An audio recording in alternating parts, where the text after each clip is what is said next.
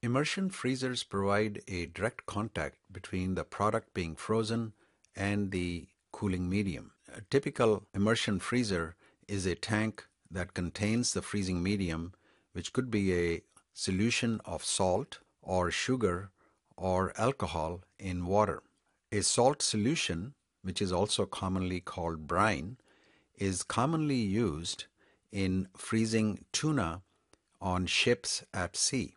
These types of freezers are most suited for irregular shaped products such as fish or whole chicken, as one can get good heat transfer between the product and the freezing medium.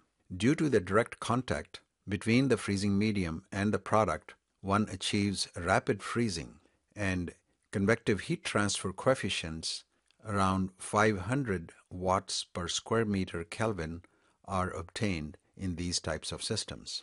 Another example of the use of this type of system is for what is called crust freezing, uh, which is done for poultry to obtain a light colored product.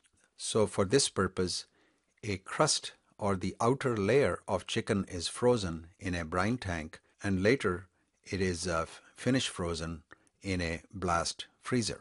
One can also use glycol or propylene glycol solution. However, in that case, the product must be packaged in impermeable packaging material so that it is well protected. At the end of the freezing process, the immersion medium is then washed off the package.